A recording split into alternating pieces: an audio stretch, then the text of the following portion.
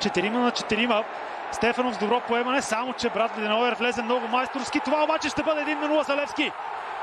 Илян Стефанов се възползва от това колебание в червената отбрана и свежда сините напред 12 минути преди края на матча.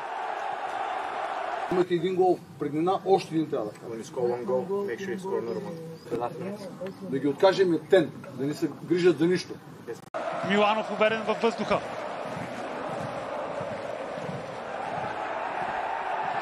Роналдо много по-бърз от Денойер. Хубав пас към далечния край на наказателното поле. Уелтън прави резултата 2 на 0. Още една светкавична контратака в синьо и още един път резултат е топка във вратата на Густаво Бусато.